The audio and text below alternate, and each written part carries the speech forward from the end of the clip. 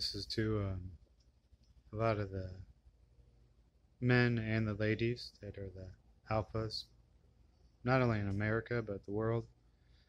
You know, right now, uh, I just want to say sit tight because uh, I'm stuck here, in Massachusetts.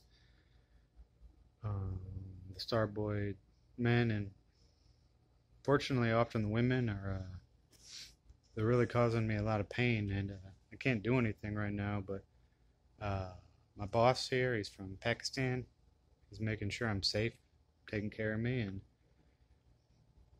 things smooth out. I, I can stay here, work part time, or I can get on the road and head somewhere. So, just want to say um, you can sit tight because uh, I'm getting the world to uh, people that are part of our our pyramid, the number two, to kind of learn how to do things a little better.